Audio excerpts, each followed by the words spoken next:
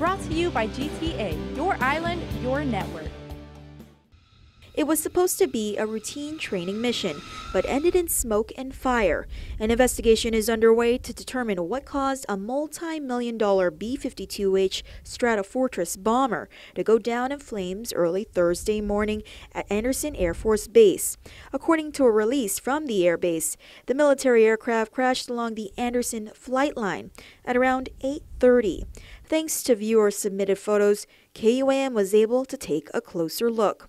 Although smoke and fire appeared to have engulfed the plane, Andersen reports all seven aircrew members escaped without injury. The crew is from Minot Air Base, North Dakota, from the 69th Expeditionary Bomb Squadron. They were performing a routine training mission as part of the Department of Defense's continuous bomber presence mission here in the Pacific. It was all hands on deck to assist the Air Force, who called on local authorities for help. According to GFD Fire Chief Joey San Nicolas, it's all part of the One Guam mission.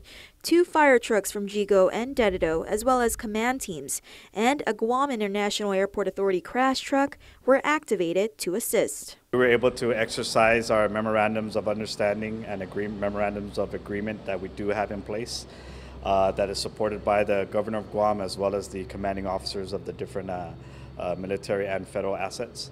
Uh, so we're able to respond quickly, be able to call each other directly, and respond both inside and outside the gate to ensure life safety and property protection is paramount. This wouldn't be the first crash off Guam involving a B 52 bomber. Back in 2008, Six were killed in an unarmed bomber that crashed in the ocean. The aircraft was scheduled to participate in a flyover during the Liberation Day parade. The investigation determined the B 52 crashed as a result of a mechanical malfunction. Reporting for Guam's News Network, I'm Crystal Paco. Brought to you by GTA, your island, your network.